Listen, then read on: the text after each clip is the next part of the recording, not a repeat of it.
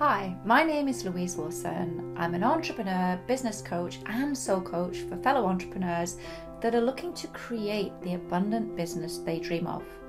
I take a very different approach to business than most experts out there in that I blend the worlds of spirituality and business.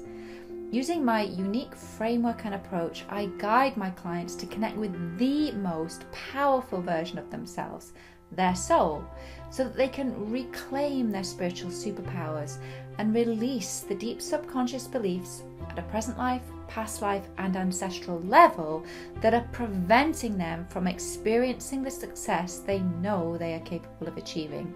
In this video, I'm going to share with you five hacks you can do to help you address any feelings you may have of confusion, dissatisfaction, or that you aren't or don't feel that you have enough in your life. And my number one tip is this the fastest way to transform your life is to change your identity. Because it's your identity, your thoughts, beliefs, emotions, behaviors, and actions that are actually responsible for determining the results you currently have in your life. Unfortunately, I had to discover this super simple truth the hard way. See, at an early age, I knew that I wanted to be an entrepreneur. However, my experience in the education system led me to believe that I could never be an entrepreneur, that I didn't have it within me to achieve that kind of success. As a result, I wasted 15 years of my life stumbling around wearing an identity that in no way served me, nor was it anywhere near close to being a reflection of who I truly am or what I'm capable of doing. Way back then, I just didn't believe in myself and I was afraid of everything. I would never venture beyond the safety of what I knew, aka my comfort zone. I only ever went for jobs I 100% knew that I could get and where's the growth in that? And if I was going on holiday, everything had to be planned out in advance. Where's the space for magic and adventure to unfold? Make no mistake, your identity, who you think you are, your daily self talk, drives your actions, your choices, your decisions, and your behaviours. And that is what determines how your life unfolds. If you don't like your life, if you don't like what you have in your life, then you have to change who you are being. And if you find yourself sitting there wondering, what are my first steps? What can I do right now to change my identity? Well, did you know that your soul can powerfully guide you? And if the concept of having a soul feels a little uncomfortable for you or out there, I have to ask you if you feel the same discomfort around the notion of having a soulmate or a soul purpose. See, for many, we can perhaps more easily accept the concept of having a soulmate. So, why not stretch the boundaries of your beliefs to believing that you also have a soul that you can powerfully call on to guide you to be your infinitely best self so you can live your infinitely best life? After all, everything we think is simply a belief that we choose to believe or not. So, why not try a little experiment? Just for the next little while, I want to invite you to pay attention and to notice how your soul is actually guiding you. Try it. What have you got to lose? Your soul can guide you towards changing your world. Right now, your soul may be nudging you to ask for that raise or to go for a promotion or to start your own business or a family, maybe even write a book or start to work for a non-profit, save the environment. The question is, are you listening?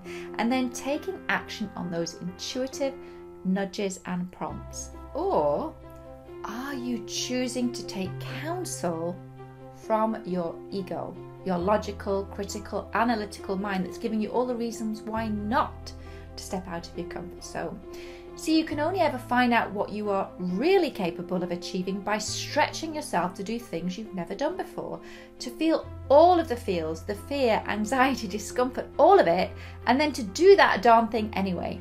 Remember, there's a reason why they're called growing pains. Because growing can feel painful, scary, and uncomfortable.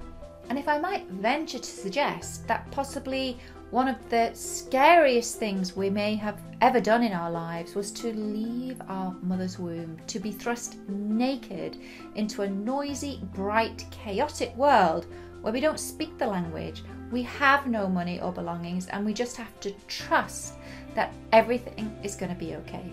And then there's those final moments in our lives when we find ourselves looking back on our life's journey. And the real question is when your time comes, because it comes to us all, some sooner rather than later, but as you're sitting in your proverbial rocking chair or even lying on your deathbed, what will you be thinking then? Hopefully, you will feel happy with your choices, that you did everything in your power to be your best self so that you could live your best life. So, right now, as you journey through the space in between, what will you choose to do and how will you choose to live your life? Will you harness the courage and faith that you had when you first came into the world? It is my hope that you won't have to experience what I experienced, where crisis had to show up in my life, forcing me to find out who I was capable of being and what I was actually capable of achieving. See, I had to lose everything before I could find the courage to take action on my dreams. Because when you feel as though you no longer have anything left to lose, you're willing to take those much needed risks. Doing things that scared me showed me how powerful and resilient I can choose to be. When you step into and act from your truest nature, you can finally reclaim your identity as a powerful being. Don't let crisis be your teacher. Take control. Be the captain of your ship and allow your inner GPS, your soul, to guide you, to help you uncover your infinitely best self so that you can live your infinitely best life. This is why I am obsessed with supporting my clients to connect with their soul so that they can reclaim their identity and spiritual superpowers, release the fears, self doubt, and subconscious beliefs at a present life, past life, and ancestral level that are actually sabotaging their success, and rise to create the abundant business and life they dream of. My second tip for addressing those feelings of dissatisfaction or that you aren't or don't feel that you have enough in your life is to know what you value most. When you know your values, you have a strong foundation on which to create a life you love. Once again, I had to learn this lesson the hard way. As always, though, we teach what we most need to learn. See, in 2006, I established a very successful retail store, Rosie's, and I loved it. I created a beautiful space where we sold a very eclectic mix of art, books, clothes, pottery, jewellery, you name it. We also had a coffee shop, a hair salon, and healing rooms. However, in 2010, when I uncovered that my number one core value was freedom, I quickly realised that being tied to a bricks and mortar store ran completely counter to this core value. With this new awareness, I began to notice as my shifts rolled around that I started to feel unwell. That right there was a red flag. Something was definitely off. Even though the store was successful, it was clearly out of alignment with who I truly am and my core values. Now that the unconscious was conscious, now that I knew how important freedom is to me, this awareness and misalignment in who I was actually being was beginning to show up in my body. Our bodies keep score and we need to listen to them. I quickly realized that I had to make a change in my business and in my life. A change that was initially scary to do because it meant that I had to hire a full time manager. However, once the manager signed on, it freed me up to fully focus my energy on my absolute passion and purpose in life, which is coaching fellow entrepreneurs to create the business they dream of. Knowing your top five core values can help you design a life that is a mirror reflection of the contours of your soul. Having an awareness of your values can also help you make those seemingly difficult decisions. For example, say you're offered a highly paid job that's going to take you away from your family 50% of the time, yet family is your number one core value, with this knowledge and awareness, you are now able to make a better informed decision and choice around what you need and want to do. My third tip for addressing those feelings of dissatisfaction or that you aren't or don't feel that you have enough in your life is to know your life and soul's purpose. Now, you might find that your purpose springs forth from your values. Knowing your purpose in life and then taking action to live your purpose is fundamental to helping you create and live a life that's filled with peace, satisfaction, joy, and purpose. And if you find yourself sitting there thinking, I'm not sure if I know what my purpose is, then please know that there is a place inside of you that does. And this part of you might already be trying to get your attention, whether it's through those intuitive nudges or prompts or feelings that something's off in your life or that something needs to change. Maybe you're feeling drawn to forge a new path.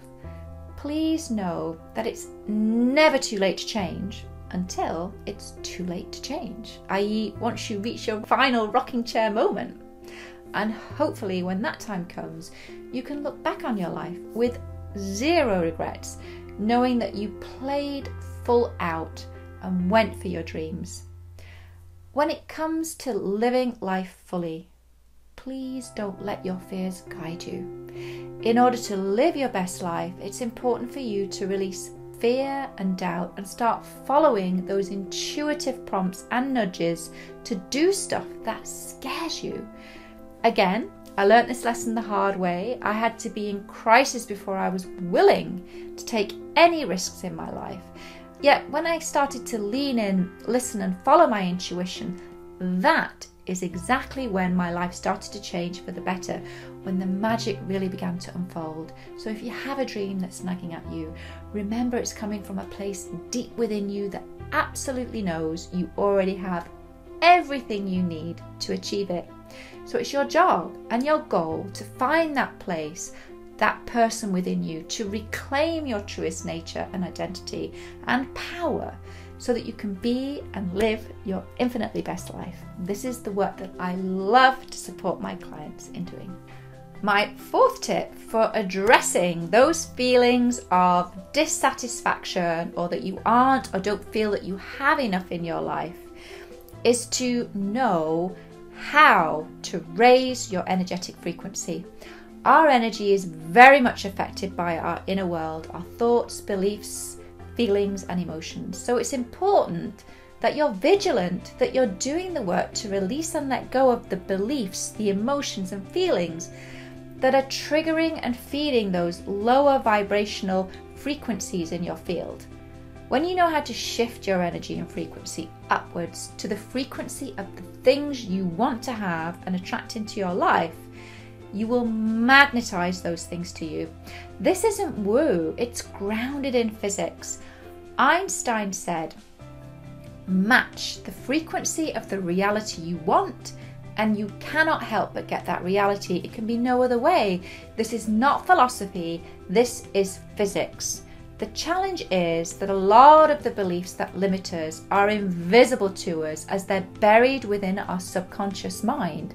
And it is those beliefs that are feeding our emotions and driving our behavior. That's why I'm obsessed with helping my clients uncover and release the deep subconscious beliefs at a present life, past life, and ancestral level that are actually repelling the success they dream of. Managing your energy takes commitment and practice. But to help you today, I'm going to share with you one very simple yet powerful tool you can use to raise your frequency, and that is to practice gratitude. The more you can regularly look for and express gratitude for your life and in your life, the more you're able to shift your mood and your energy and frequency. This is why so many teachers talk about the power and importance of, it, of expressing gratitude in your life. My fifth tip for addressing those feelings of dissatisfaction or that you aren't or don't feel that you have enough in your life is to let nature be your teacher. Nature is a powerful teacher, and when you let her, she can guide you to being your best self. See, does a sunflower seed ever question its ability to blossom into a beautiful flower? Does it shrink back with fear and embarrassment when in the company of other beautiful flowers? Does it think, oh, I can't possibly shine or outshine any of the other flowers around me? Do you think that it thinks, well, in being my beautiful self, I might offend the other flowers around me? No, of course not. It just pops up, flourishes, and shines for all to see. The tiniest of sunflower seeds can teach us so much about the power of accepting our truest nature and the importance of creating the right environment that supports our growth to becoming the best version of ourselves. We know that we need to nurture a seedling, that it needs the right conditions to grow. It needs good soil, proper nourishment, sunlight, and water to flourish. And in the same way, it's our job to create the same nurturing and nourishing environment for ourselves so that we too can fully flourish and blossom and grow into being our infinitely best selves. In this way, we need to surround ourselves with people who love and support us and pay special attention to our thoughts, beliefs, feelings, and emotions, nurturing and promoting positive self talk and those high vibe feelings.